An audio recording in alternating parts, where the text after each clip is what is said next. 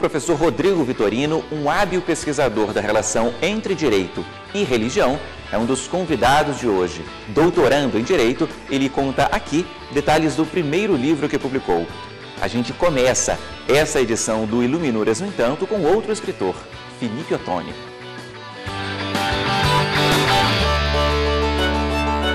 Mineiro, nascido em Nanuque, Felipe é teólogo e autor do livro De Fé em Fé, tudo bom, Felipe? Tudo ótimo. Bem-vindo. Muito obrigado, é um prazer estar aqui, uma honra.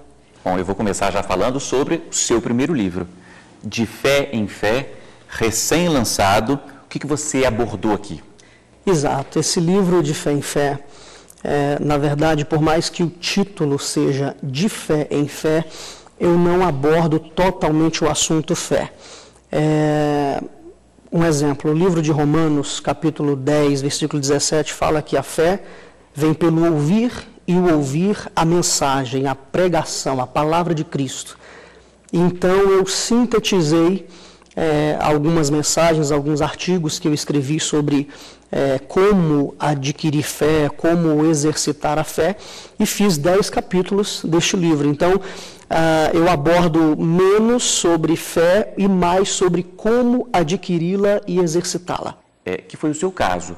Você entrou em contato, passou a ter fé, se é que eu posso dizer assim, e mudou sua vida, não foi isso? É, na, na verdade, assim, eu, eu, eu nasci em lar cristão, minha mãe sempre foi cristã, mas eu acredito que eu não tinha fé em mim mesmo, porque a partir do momento que eu comecei a acreditar naquilo que eu podia fazer, naquilo que eu podia superar na minha vida, é, com a ajuda de algumas pessoas que me influenciaram muito, eu comecei a mudar muitas coisas na minha vida e, e hoje né, me tornei um, um, escritor além das demais coisas que eu, que eu faço.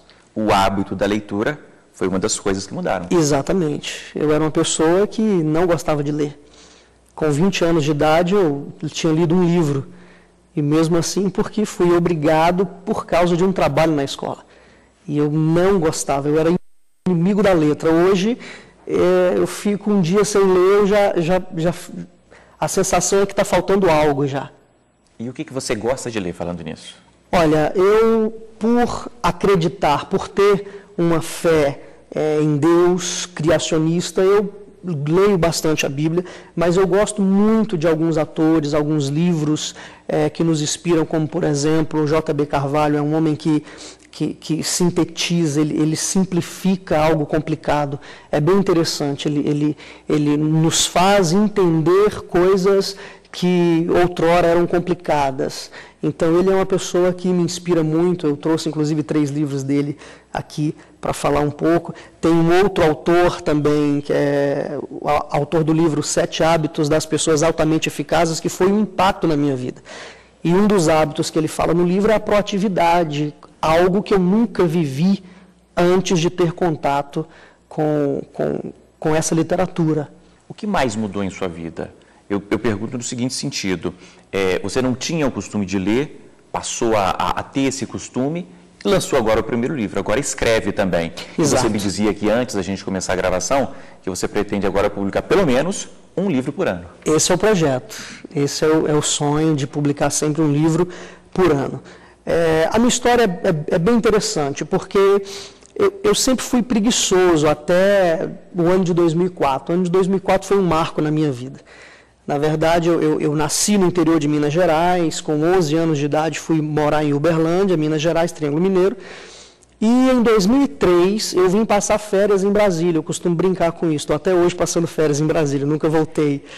E em 2004 eu, eu, eu, tive contato com o JB Carvalho, que é um, um, um grande líder na cidade, um líder espiritual. E a partir daí eu comecei a desenvolver. Né? Ele é uma pessoa muito inspiradora.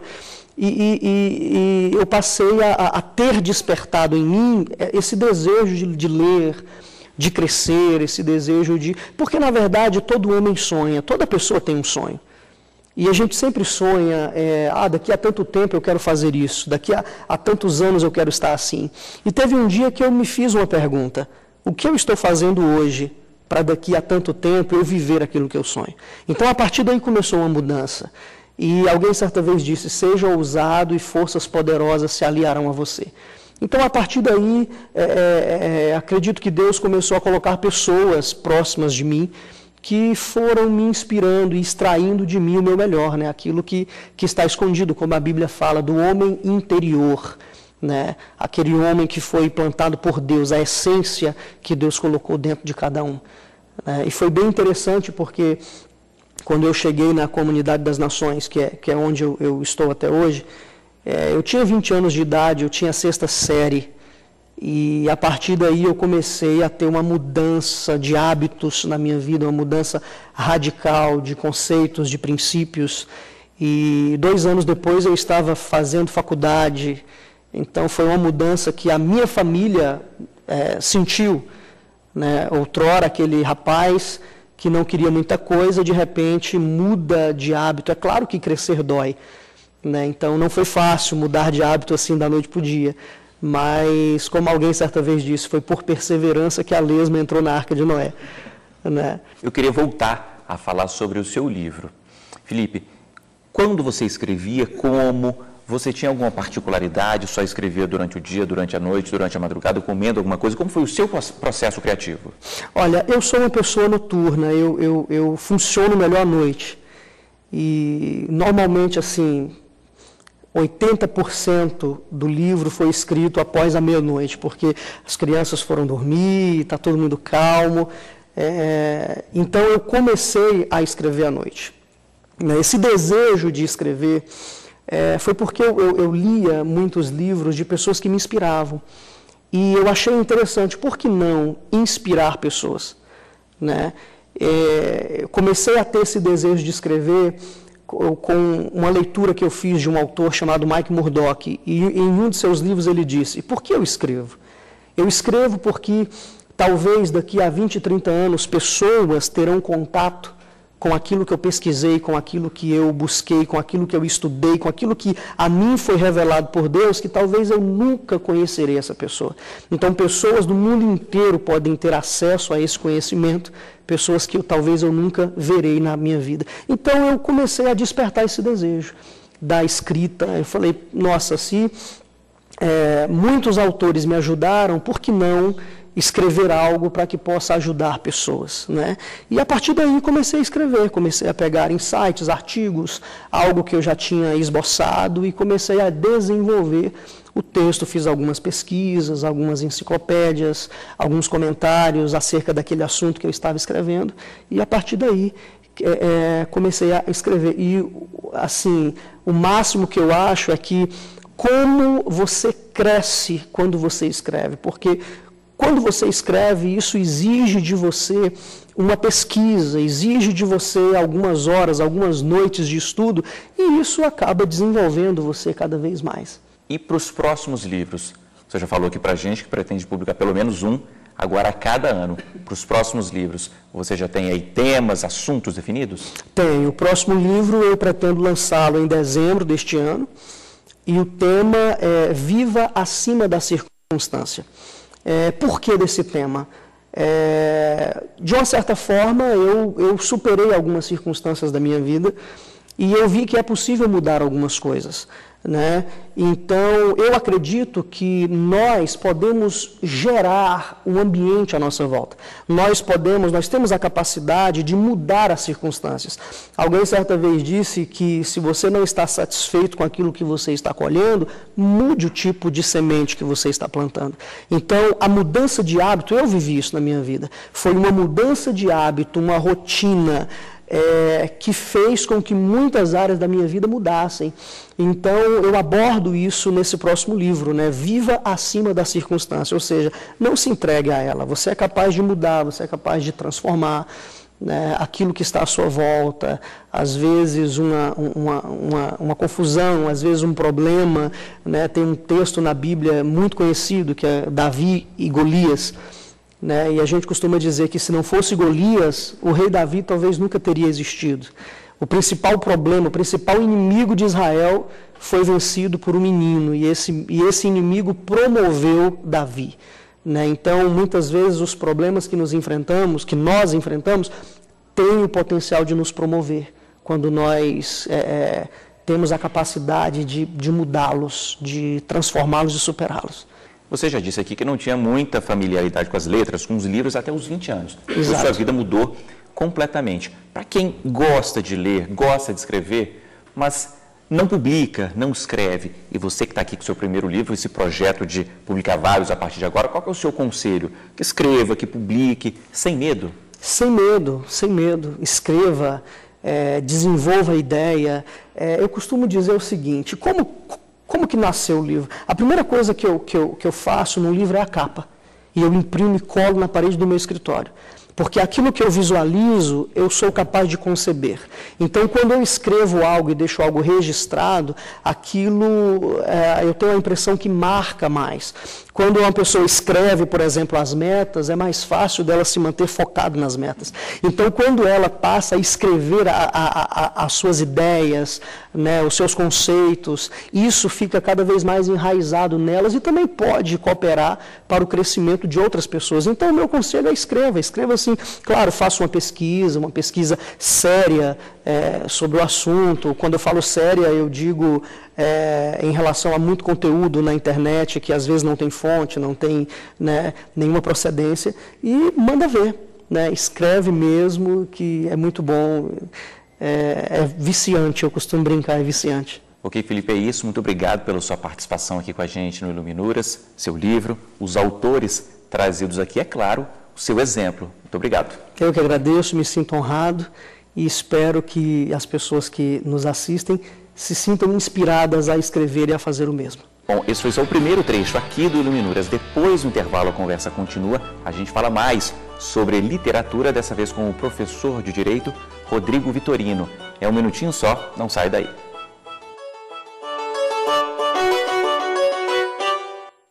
O Iluminuras já está de volta para conversar neste segundo bloco com o professor Rodrigo Vitorino. Bem-vindo. Muito obrigado, Paulo, pelo convite. É uma honra estar aqui no Iluminuras. A gente agradece. Você veio de Uberlândia, Sim. Rodrigo, aqui para conversar com a gente. Muito obrigado. E eu gostaria já de começar perguntando o seguinte: você é professor, dá aula de quê? Sou professor da Universidade Federal de Uberlândia, na Faculdade de Direito. E, e ali eu sou professor de Direitos Fundamentais. Ah, participo do núcleo de Fundamentos do Direito e a disciplina que é a minha a especialidade são os direitos fundamentais. Você sempre quis ser professor? Olha, é, eu já estou envolvido com a docência há algum tempo. Né? Fui primeiro professor de inglês nos cursinhos, né? E durante a faculdade, é, a carreira docente começou a me chamar a atenção. Não no início, mas ali do segundo, terceiro ano para frente, eu já sabia que essa seria a minha carreira, né? a docência. É uma paixão, é uma dedicação, o que, que é? Como é que você classifica? Sim, é uma, é uma paixão. É e por isso eu me dedico. Né? E a literatura também é uma paixão? É também. Né? Eu, eu gosto de ler. É, sempre gostei de ler. É, a minha família estimulava a leitura. Né? Os meus pais sempre é, nos encorajaram, a, a, eu e meu irmão, a sermos bons alunos na escola. Né? E, e, com isso nós passamos a tomar gosto pela leitura. E o que você gosta de ler, Rodrigo? Você tem autores preferidos? Sim, eu, eu, eu tenho lido ultimamente uh, algumas obras mais específicas né, uh, para os meus estudos uh, no, no, doutorado, né, que envolvem a questão religiosa, a relação com o direito, mas também outras obras que tratam, por exemplo, das relações entre fé e, e ciência. Né, isso, isso me interessa, alguma coisa de teologia também. por estudar essa área, tudo isso se torna importante. Né? Em relação a autores, eh, eu não tenho uma preferência por algum autor, mas são preferências temáticas. Mas alguns que me chamam a atenção nessa, nessa minha área, uh, José Casanova, uh, Charles Taylor, e, e, que tratam da relação entre fé, ciência, uh, a, a, religião e academia. um autor que me desperta é o C.S. Lewis, um, um inglês, né, que tem uma obra é, bastante popular, que são as Crônicas de Nárnia, mas tem vários outros livros. Ele era um professor da Universidade de Oxford, né, de literatura, e, e tem, uma, tem muitas publicações que são muito interessantes. Falando sobre publicações, estou aqui com a sua, Doutoramento e Mestrado, Regulação, Direitos Humanos e Religião. O que, que você aborda aqui? Olha, esse foi um estudo uh, que eu fiz uh, há dois anos, durante os estudos de doutorado, né? E foi um problema que me chamou a atenção exatamente pelos limites que são impostos ao exercício da liberdade religiosa. Uh, não sei se uh, você teve conhecimento daquele caso do, uh, de uma campanha que foi feita na Inglaterra sobre o ateísmo, né? que dizia assim: Deus provavelmente não existe. Né? Isso foi divulgado em, em, vários ônibus da, da Inglaterra. E, e, essa propaganda chegou até a agência reguladora inglesa, que é uma agência de autorregulação, e eles disseram que não poderiam é, se manifestar sobre aquele caso porque se tratava de um assunto religioso, então não cabia é, a regulação da publicidade naquele caso.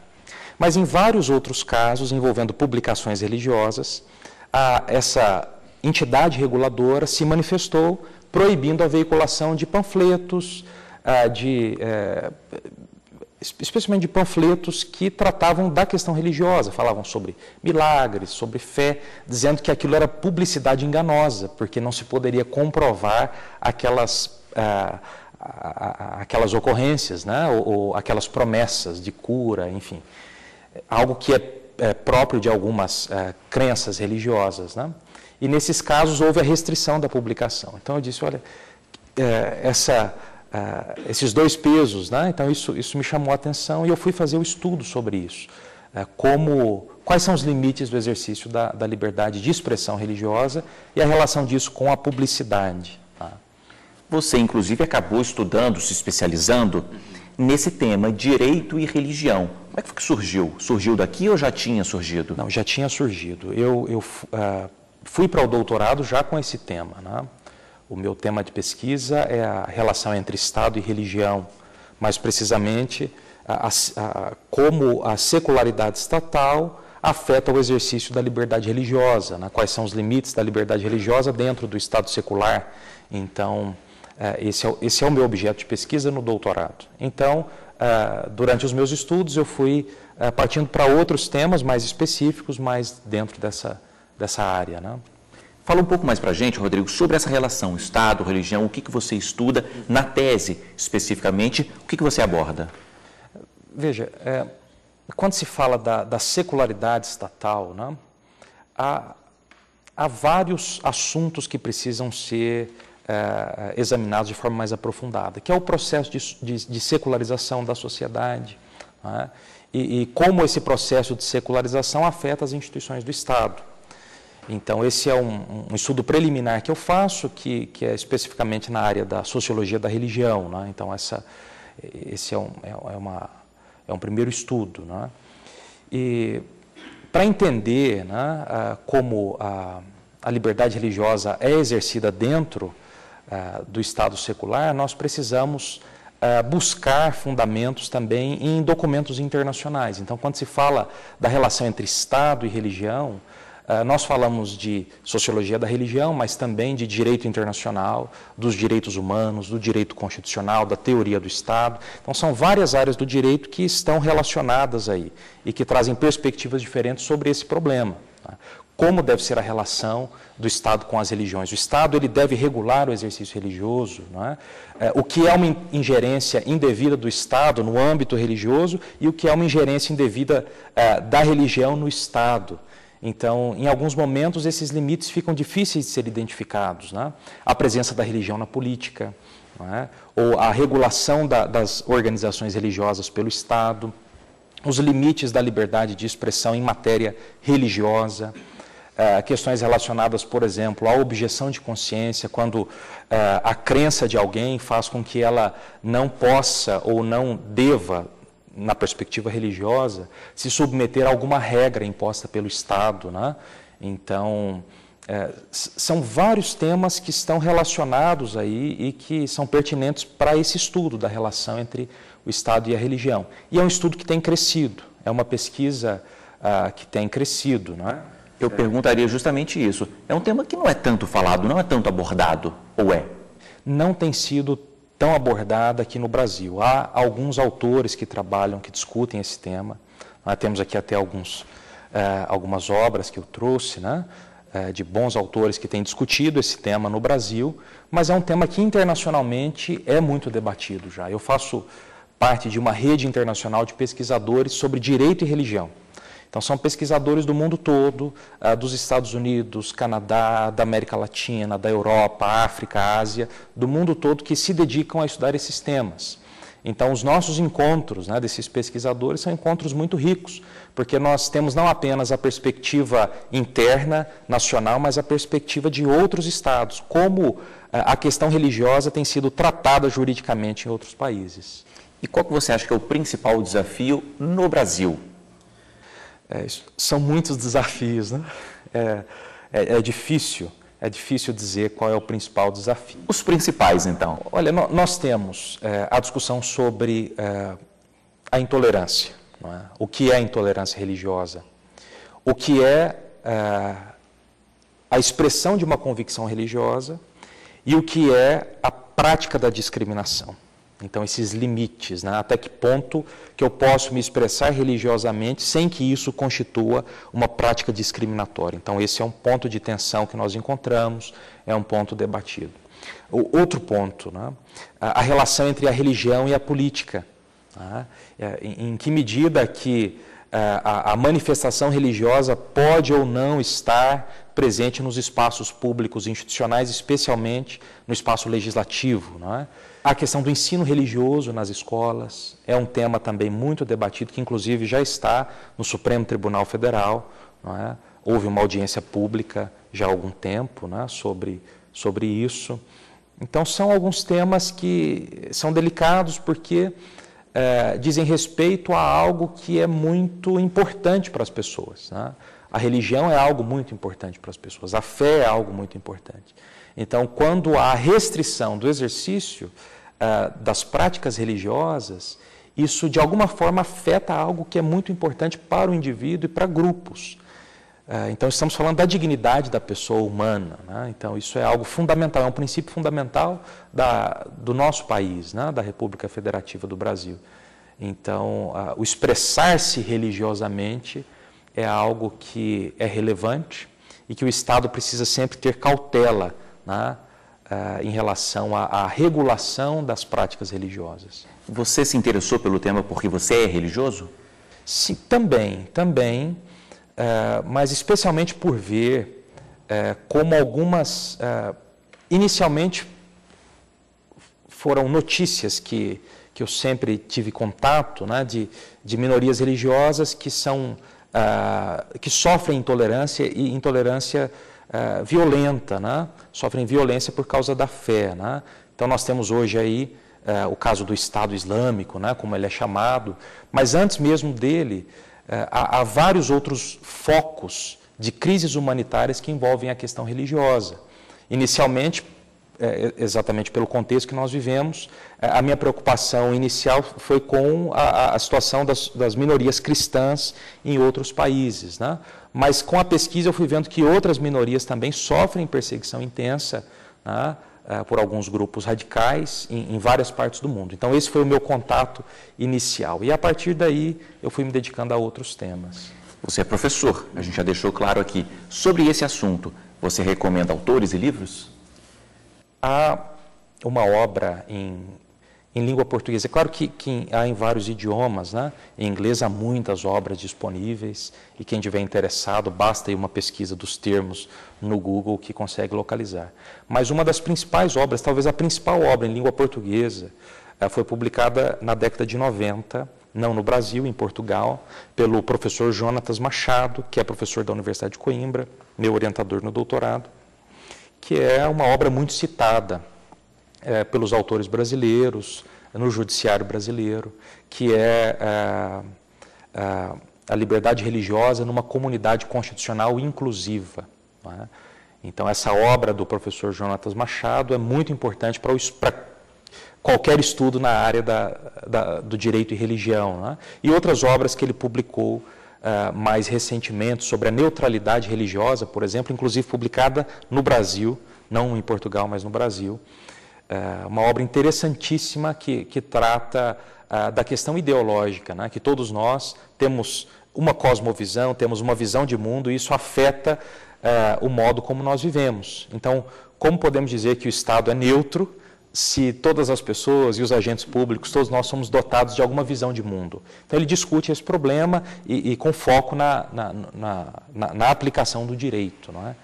Então, o professor Jonatas Machado, também do Dr. Jaime Weingartner Neto, que é desembargador no Tribunal de Justiça do Rio Grande do Sul, é, foi um dos, uma das primeiras obras publicadas no Brasil sobre o tema, uma obra mais compreensiva, é, que trata das diversas dimensões da liberdade religiosa. Uh, outras duas obras do Fábio Leite, da PUC do Rio de Janeiro, uh, que, é, que tem exatamente o tema do Estado, o título Estado e Religião, né? uma obra fantástica sobre essas relações, e do Dr. Aloysio Cristóvão, que é juiz do trabalho uh, na Bahia, sobre a, a, a liberdade religiosa e o contrato de trabalho. Então, como exercer a liberdade religiosa no ambiente de trabalho, quais são os limites dos empregadores, os limites dos empregados. Então, uma obra também muito interessante que discute esses, esses problemas. Ok. Rodrigo, é isso. Muito obrigado pela sua participação aqui com a gente no Iluminuras. Eu que agradeço, Paulo. Bom, e muito obrigado a você também que nos acompanhou aqui hoje. O Iluminuras fica por aqui, mas para rever este e outros programas, basta acessar tvjustiça.jus.br. Até a semana que vem. Tchau.